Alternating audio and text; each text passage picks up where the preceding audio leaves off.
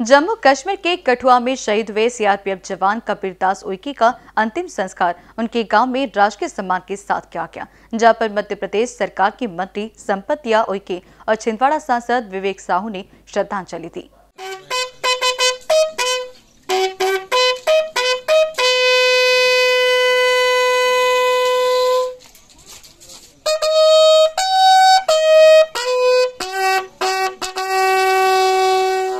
जम्मू कश्मीर आतंकी हमले में शहीद हुए कबीरदास पुलपुलटोह के रहने वाले कबीरदास जम्मू कश्मीर के कठुआ में हुई आतंकी मुठभेड़ में शहीद हो गए थे। वे सीआरपीएफ में कांस्टेबल थे और गुरुवार को उनका पार्थिव शरीर नागपुर के रास्ते गृहग्राम लाया गया।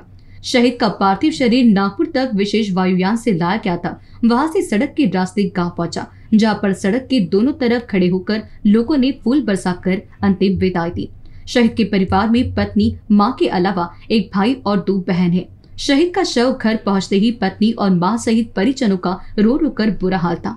जवान बेटी का शव सामने देखकर माँ बेहोश हो गई और पत्नी मानने को तैयार नहीं थी कि उसका पति अब इस दुनिया में नहीं रहा। अंतिम संस्कार के मौके पर आसपास के गाँव के लोग भी मौजूद रहे।